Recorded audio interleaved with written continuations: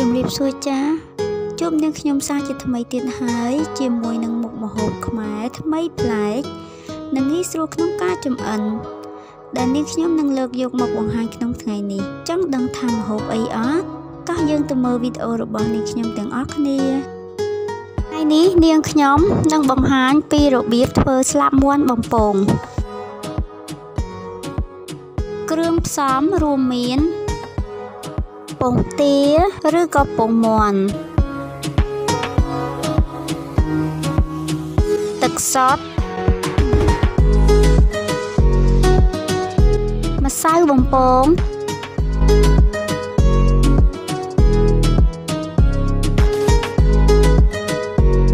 ស្លាបមាន់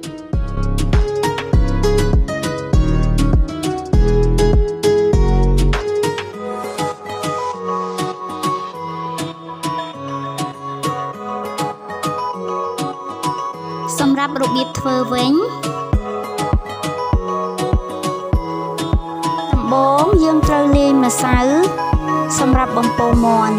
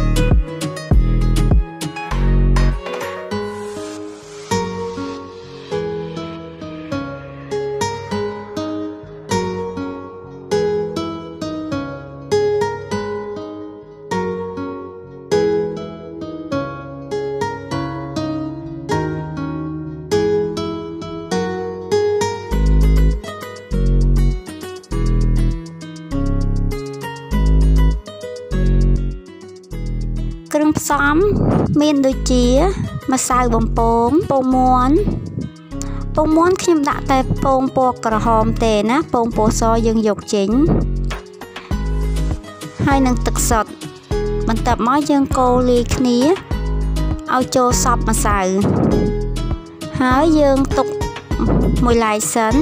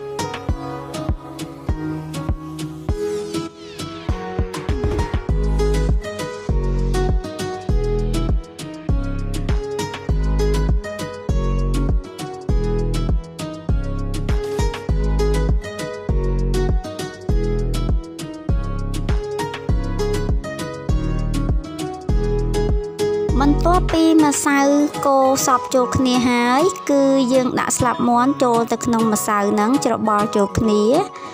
ដើម្បីឲ្យស្លាប់មាន់ហ្នឹងជាប់នឹងម្សៅ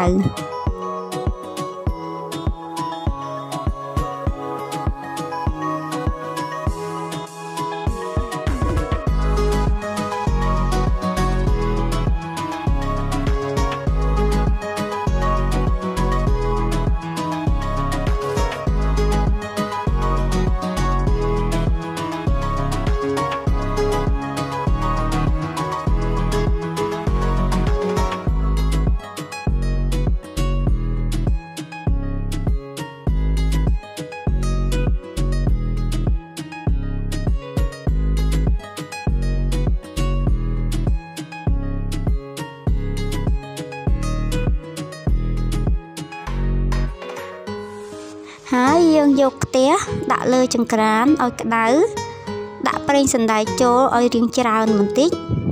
ដើម្បីងាយស្រួលក្នុងការបំពងបន្ទាប់ពីប្រេងសណ្ដែកក្តៅហើយគឺយើងដាក់ស្លាបមាន់ដែលជ្រលក់នឹងម្សៅនឹងចូល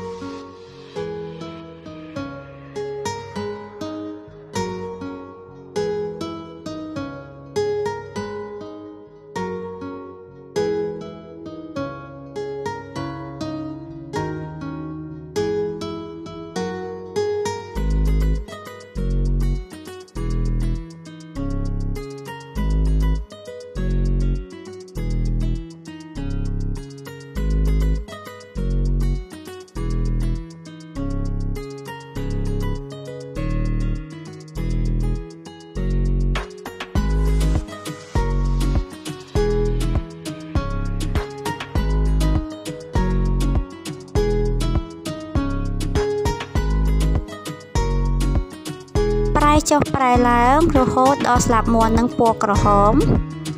ឆ្អិនល្មមគឺយើងអាចស្រង់យកមកដាក់លើកន្ត្រងសម្រាប់សម្រស់ខ្លាញ់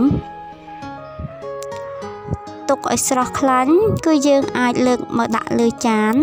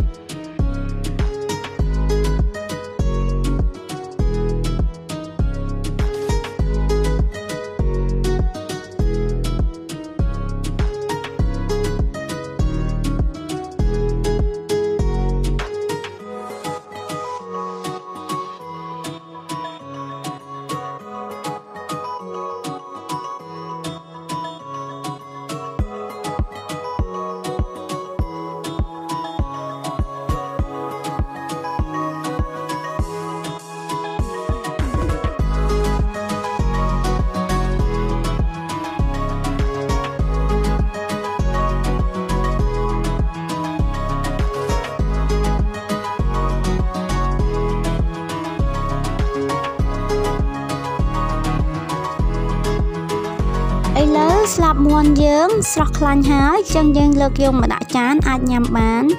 យើងអាចញ៉ាំជាមួយទឹកត្រីបុកហៅថាទឹកត្រីកោះកុងឬមួយក៏អំបិលម្រេចក្រូចឆ្មាក៏បានណា